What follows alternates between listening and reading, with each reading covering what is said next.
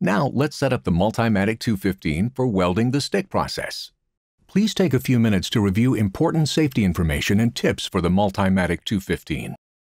And remember to wear appropriate safety gear during setup and welding. First, while the machine is off, unplug the drive lead from the positive receptacle. Then, insert the stick stinger into the positive receptacle. Turn clockwise to tighten. Plug the work lead into the negative receptacle and turn clockwise to tighten.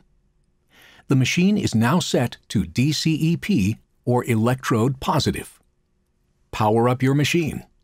Using the process select arrows, select stick mode. Finally, if you are using the AutoSet Elite, select the rod diameter and type and material thickness. Or if you're using the manual mode to set your welding parameters, select the amperage. As a guide, a parameter chart is located inside the door. Setting up the Multimatic 215 for stick welding is as easy as that.